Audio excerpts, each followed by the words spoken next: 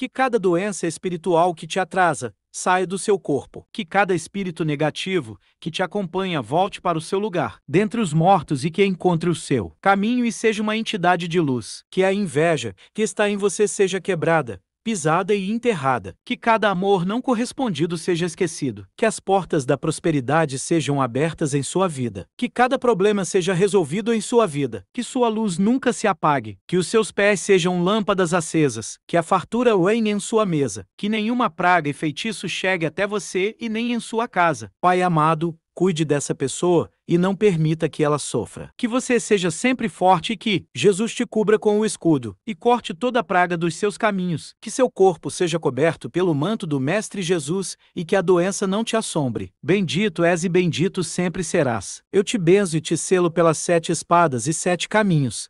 Corpo protegido e corpo selado e abençoado.